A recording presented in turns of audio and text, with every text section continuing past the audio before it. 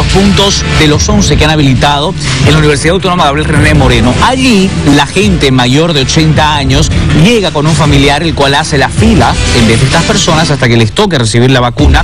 Entran a un lugar, una especie de recepción donde empieza este registro y posteriormente la vacunación. Hoy estamos, quiero contarles, en otro punto de vacunación que se ha habilitado. Estamos en la Universidad Ecológica con Joaquín Luna para que nos relate cómo se está llevando a cabo este día también la vacunación en el lugar. Adelante, Joaquín.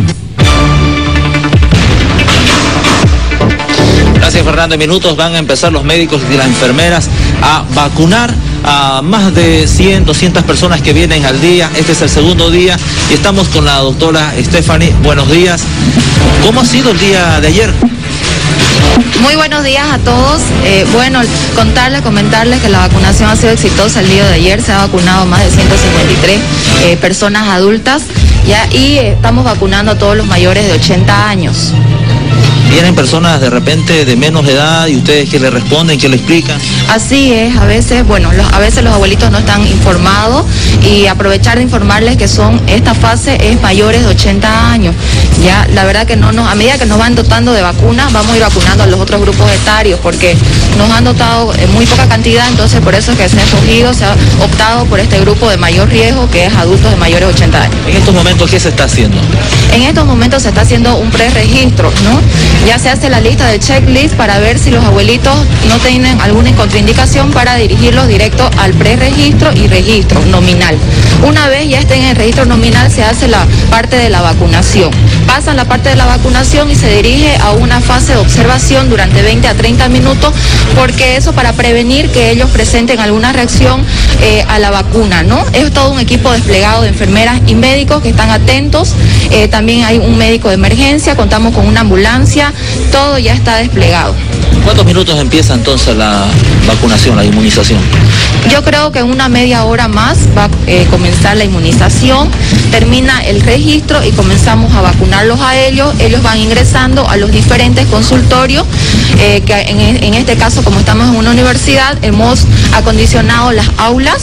Ya cada fila, como ustedes ven, tiene su, su aula personalizada. Ya la fila 1 ingresa al aula 6, la fila 2 al aula 7 y todo el ambiente está acondicionado para ellos con las medidas de bioseguridad. Son solamente 8 sillas con un espacio de distanciamiento de un metro y también tenemos aire acondicionado para ellos. Perfecto, se está cumpliendo todas las medidas de bioseguridad y los ancianitos, las personas mayores de 80 años tienen que venir con su carnet, identidad y su fotocopia.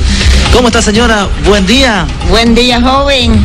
¿Contenta? ¿Va a recibir su vacuna? Está contenta porque ya vamos a recibir lo que más queríamos ya tanto tiempo hemos esperado ya hasta que al fin Dios nos ha mandado la vacuna por fin. ¿Se enfermó del COVID en estos meses? Me he enfermado bien grave yo. Y ¿Cómo hizo para recuperarse? Para remedios caseros y también iban los de a cada casa, ¿cómo se llamaban eso? Las brigadas médicas. Ajá, también me visitaban. Lo bueno es que salió, recuperó del COVID. Sí, sí, recuperé del COVID, joven. Todavía no será mi hora.